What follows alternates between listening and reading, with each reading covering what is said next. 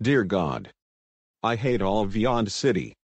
So, what am I going to do about it? I know. I will cause a tornado in the city.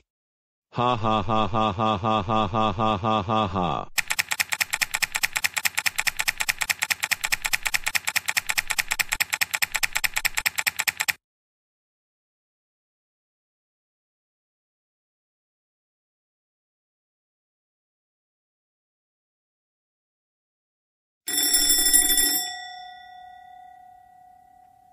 Well, I'll turn on the TV and see what shows will be on.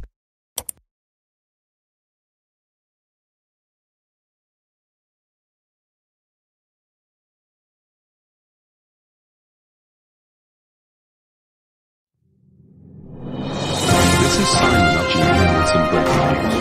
Today, a tornado has struck Lone City, California. It is unknown where the source of the storm came from, but what we do know is that the tornado wasn't naturally made. Stay tuned for more updates on the situation.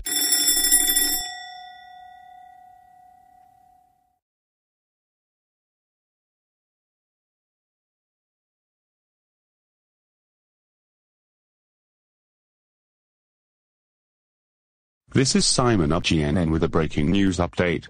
The tornado has subsided, but several houses have been destroyed. Only a select few are spared, including the Prendergast household.